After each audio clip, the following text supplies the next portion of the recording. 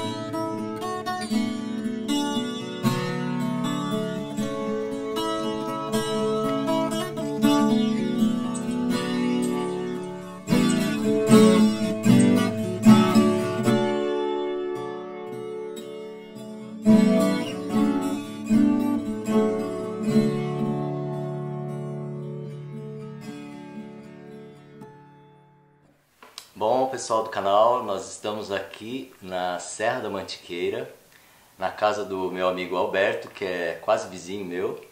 E hoje nós vamos falar de uma atividade, como é que eu posso dizer? É uma Uma atividade? aventura, uma experiência. Uma aventura. Ele está tendo uma aventura, um um caso de amor com os passarinhos. E é uma é a atividade deles é a observação de pássaros, né? E ele me chamou para fazer um vídeo e eu falei assim, puxa vida, vamos dar uma força. Mas antes do vídeo nós demos uma, uma conversada, ele começou a me mostrar os vídeos de- do pessoal que já está registrando esse espaço. Eu fiquei encantado. É, são essas imagens que vocês viram agora no começo e a gente vai passar ao longo do vídeo, depois a gente vai dizer quem fez. E aí eu queria que o Alberto, que é um. O que, que você é mesmo, Alberto? Eu sou um psicólogo que se tornou funcionário público. Funcionário público. E atuou em várias áreas do serviço público, que adora o serviço público e adora São Francisco Xavier. Pois é, ele está morando aqui em São Francisco Xavier, ele morava em São José dos Campos, faz o que? Três anos que você está morando aqui? Na... Faz dois anos e pouco. Dois anos e pouco, ele migrou para. Eu não sei se aqui é roça, mas aqui é zona rural, né? Sim. E aí, a- o que que a sua vida mudou por causa disso? Olha, Chico. É... Ou você mudou sua vida Eu porque você queria Eu isso? sempre morei em chácara, mas na periferia da cidade, né? Ah, tá. Só que a experiência de morar aqui em São Francisco é bastante diferente, porque a natureza está muito forte à sua volta. Muito presente, né? Ela é exuberante E aqui. também é o silêncio, que faz muita diferença, né? E a água limpa, é, o sossego, a segurança, é, Tudo de bom. céu que tá azul, falando. sim, maravilha. E agora os passarinhos. É, conta aí pra nós como é que foi essa experiência dos passarinhos. Eu acho que vou botar a câmera um pouquinho mais pra lá. Na verdade, eu fui transferido pela prefeitura para São Francisco Xavier para ajudar nos trabalhos de gestão. E São Francisco é um local especial, você já fez muitos vídeos sobre aqui. Primeiro que é enorme, as pessoas não sabem, é maior do que Osasco, maior do que Campos do Jordão, uma área, área, né? em área, uma área gigantesca. Depois é uma zona de parte dela é uma zona de proteção ambiental, é, municipal, estadual, federal. A Serra dos Poncianos é uma área que já foi já se pensou em transformar num parque nacional pela biodiversidade dela, uma água, uma área de produção de água fortíssima com 900 nascentes aqui. Isso é uma série de características em São Francisco que a diferenciam muito eh, de São José. E é preciso eh, um olhar diferente. Que tipo de turismo deve vir para cá? Que ti- como as pessoas devem se comportar para preservar esse enorme tesouro? Por que enorme tesouro? Isso é uma outra coisa que eu vim aprendendo nesses dois anos em contato com muita gente que atua na área ambiental, porque a Mata Atlântica, isso é Mata Atlântica, ela tem uma série de micro habitats ou ecossistemas e eles não são iguais. Então, esse aqui tem as suas características. Uma delas é que São Francisco sai de 620 metros de altitude, vai até 2082 no Pico do Selado. Isso dá duas vezes a subida da Serra do Mar. E aí você tem diversas espécies que atuam em diferentes É, ah, Tem uma diversidade áreas, sim. grande aí por causa dessa diferença, né? Então nós estávamos pensando e conversando com a prefeitura, poder público, sociedade civil, ONGs, eh, donos de pousada, sobre o que seria bom para São Francisco e surgiu a ideia de que a observação de aves seria um turismo adequado é, por várias, várias características. É um turismo de, em que as pessoas são conscientes do ambiente e querem preservá-lo. Né? É um turismo que atrai pessoas durante a semana, não só no fim de semana, e a taxa de ocupação das pousadas em São Francisco durante a semana é baixa. E é um turismo que faz bem, é uma coisa que está crescendo no mundo todo, né? muito forte nos Estados Unidos, muito forte mesmo. Alguns estudos dizem que de cada 10 pessoas, 6 é, fazem observação de aves nos Estados Unidos. E no Brasil deve haver umas 50 mil. Há uns cálculos aí que nunca são muito precisos. Né? Mas então, o Brasil é o terceiro país do mundo, é, ou está entre os três principais do mundo em número de aves, é, com mais de 1.900 espécies. E muita gente vem de fora para observar as nossas aves aqui, que não são encontradas em outros lugares. Surgiu a ideia, fomos entrando em contato com várias pessoas da área, da ONG Save Brasil, que faz a reintrodução da jacutinga aqui, do projeto DACNES, uma ONG que atua aqui é, com estudos em diversas áreas, mas também com aves, e com observadores, com ornitólogos. E aí, para fazer o serviço público e trabalhar em prol de São Francisco, eu acabei entrando na atividade. E a atividade é simplesmente encantadora. Nós fizemos um festival de observação de aves agora em julho e tivemos palestras com grandes nomes da ornitologia nacional e observadores de aves, oficinas, saídas de observação de aves em campo, as pessoas com binóculo ou com a sua câmera, que não precisa ser uma câmera muito cara. Né? E, e, essa atividade é, é dela que eu queria falar com você. Legal. Então, e como é que vocês estão fazendo isso? Vocês estão promovendo com um workshop de observação de pássaros, é isso? Na verdade, nós, é, a Save Brasil já vinha fazendo há, há, mais de dois anos saídas com a escola ou com adultos de observação que que é de é aves. É uma ONG que é. atua aqui na reintrodução da jacutinga. A jacutinga é uma é. ave grande que parece um jacu, mas com cores mais bonitas e que está extinta em várias áreas do Brasil. Né? Ela é uma ave muito dócil e que foi muito caçada, muito fácil de pegar. E eles estão reintroduzindo a jacutinga e um dos lugares escolhidos é foi São Francisco Xavier. É, exatamente por essa biodiversidade incrível. A jacutinga é muito importante, isso eu estava aprendendo com eles, porque ela é uma grande dispersora de sementes. Se eu não me engano, ela, ela consome frutos de mais de 40 árvores e ela dispersa essas sementes e ajuda a recomposição florestal da, da hum. serra da área aqui. E aí, efetivamente, como é que vocês estão é, fazendo essa atividade? Quando você começa a fazer observação de aves, e eu falo como um leigo ainda, como um iniciante, você primeiro tem de baixar o seu estresse, sossegar um pouco, se aproximar da... Você não precisa entrar na mata, você pode estar numa, numa estrada de terra, você pode estar no seu jardim, você pode estar no seu apartamento, num parque municipal. Onde tem pássaro, que eles estão em toda parte, na verdade, né? E prestar atenção começar a perceber, aí você vê que você não percebia a presença de uma série de aves. Né? Então aqui em casa, hoje nós já vimos mais de 65 espécies. É, no Parque Municipal de São Francisco Xavier, que é um local lindo, é, muito especial para observar aves, nós temos mais de 160 aves registradas já, inclusive algumas difíceis de serem vistas, como o pavó, que é uma ave preta com peito vermelho muito bonito, e, e, em São Francisco nós fizemos o levantamento de aves daqui, juntando as listas, eh, os registros de várias pessoas e chegamos a mais de 360 espécies. Fizemos um guia, que é esse guia aqui. Chico, você deu uma olhada, né? Eu dei uma olhada. É esse guia foi feito pela empresa Alupar, que é uma empresa da área de transmissão de energia.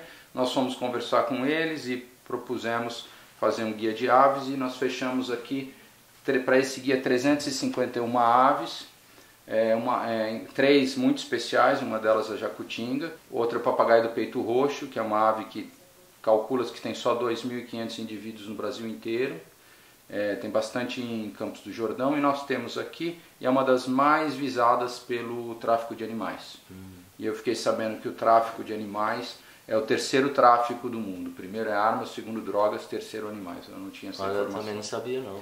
E o outro que está destacado nesse guia é o bicudinho do Brejo Paulista, que é uma ave em risco de extinção, foi descoberta há poucos anos e ela só, só foi registrada em cinco cidades, e uma delas é São José dos Campos, bem no limite com São Francisco. Eu acredito que pode haver em São Francisco também, ainda vamos avaliar isso aí. Então foi feito esse guia para estimular as pessoas a primeiro olharem no seu próprio quintal. Quem mora em São Francisco, quem mora numa chácara, quem vem de fim de semana, aqui há um, um número enorme de pessoas que tem casas de fim de semana. Né? acredito que mais de mil, mil casas de fim de semana em São uhum. Francisco Xavier. E aí nós vamos começar a promover algumas saídas. Fizemos um grupo de observadores de aves, é um grupo informal para as pessoas se reunirem. É e observar a ave é só olho nu ou dá para fazer de outro jeito também? Dá para fazer olho nu, claro, né? As que estão mais perto, se você puser um comedouro nessa época do ano que eu aprendi também que é a boa época, porque há pouca fruta na mata, ah. então as aves vêm para os comedouros nessa época, né? Começam a descer aqui e primeiro vem os, os ticuticos, o canarinho da terra, a rolinha, mas se você põe frutas começa a descer o sanhaço cinzento, o sanhaço de encontro amarelo, tia sangue, tia preto e, e por aí vai. Aqui está chegando o tecelão, é, o ferro velho, são aves que eu também passei a conhecer agora. Mas nesse guia nós registramos 351 aves em São Francisco, pusemos 351 fotos, são 360 mais de, que nós tínhamos calculado, mas depois disso, só para você ter uma ideia da riqueza, Chico, já se identificaram três novas espécies em São Francisco. Depois vocês fecharam Depois o livro. que fecharam o livro. O acauã, que é um tipo de, de rapinante, uma ave chamada iraúna grande e um martim pescador pequeno. Quer dizer, a natureza que está rica, inexplorada, tem gente à noite aí estudando répteis, anfíbios. Hum. É, você sabe que São Francisco tem onça, gato maracajá, é, gato morisco, jaguatirica, dois tipos de veado. Mas para o turismo é a observação de pássaro. Essa outra parte já é mais a sorte, né? Que o Sim, nós temos principalmente o muriqui aqui, mas você precisa para é o local mais fácil de ver o muriqui, que é uma espécie de ameaçada de extinção, mas aí você precisa entrar na mata e dar um pouco de sorte, ficar muitas horas. É. As aves não. É, As aves, elas estão ao nosso lado. É. E eu estava pensando que, tentando formular, que é, é estar tá em contato com a vida selvagem, sem precisar ir para a África. Ah. Ficar quieto, olhando o passarinho, porque ele é selvagem mesmo e ele está muito perto é de verdade, nós. Né? Há muita coisa bonita, é, muita coisa especial nessa simples observação de aves. Sem contar que nós temos um tesouro de aves aqui, tesouro mesmo no Brasil. Você, você tem alguns equipamentos que você usa aqui na sua casa, né? É, um binóculo ele é importante, para você. Mas não é essencial, não é? Não é essencial, mas um binóculo vai permitir vai... que você olhe a ave sem se aproximar muito dela. É. Porque na aproximação muitas vezes ela vai embora, né? Então há binóculos bons a partir de 300 reais, há binóculos mais poderosos e fortes, né? Esse aqui eu tinha comprado faz tempo já antes de observar aves. Tá servindo. É, comprei quando o dólar estava baixo. Ele está servindo, é um bom binóculo. É. É. Ele, alguns um pouco mais pesados, ou se eles vêm muito longe, você tem dificuldade de focar. É, porque vai tremer, né? É, você vai ter dificuldade de manter estável, perdão. Então, o binóculo é um equipamento é, que ajuda muito na observação e muitas pessoas no Brasil é, fazem observação com câmeras. Alguns têm câmeras muito avançadas, muito caras, né? Essa é uma câmera de um custo relativamente baixo e que tem um zoom 60 é, vezes, de 60 falar. vezes. Então ela, é, se você ver, ela tem é. uma pequena objetiva. Aqui. Eu já tive câmera dessa, é muito prática, viu? Ela não tem a melhor qualidade de imagem, mas é boa, você vai enxergar e vai conseguir registrar. É. Então eu tenho, por que a câmera? Porque muitas vezes eu não conheço a espécie, eu sou um iniciante. Então para poder fazer a identificação, eu poderia anotar no papel, desenhar, mas com a foto eu volto para casa e procuro no guia ou nos outros guias ou mesmo na internet. Há um site que está há 10 anos no Brasil que é muito bom, é o Wikiaves. wikiaves.com.br, que tem de quase todas as aves nacionais muitas fotos, tem o canto, tem descrição, ah, é? onde que ele está no ah, Brasil, sim, o Wikiaves, Wikiaves é tem até os incrível. cantos. Sim, até os cantos, ah. até os chamados das aves. É um trabalho realmente incrível. Outra coisa importante, outra coisa importante de dizer é que a observação de aves acontece principalmente de manhã cedo. Ah, porque a, é aquelas primeiras horas da manhã, principalmente no alvorecer, as aves estão numa atividade muito grande em busca de alimento. É. E é, os observadores de aves costumam acordar muito cedo, 5 horas da manhã, e 6 horas da manhã estão saindo é, para poder pegar a, um, um, maior movimento. É e é, às vezes elas estão assim, eu tenho ainda pouca experiência, mas numa agitação você vê ave para todo lado, né? Eu já tive a oportunidade, bonito. assim, antes do, do amanhecer, quando está começando a clarear, o passarinho já começa a piar. Sim, sim. E aí eu ia registrar o barulhinho sim, dele, o canto dele. Sim.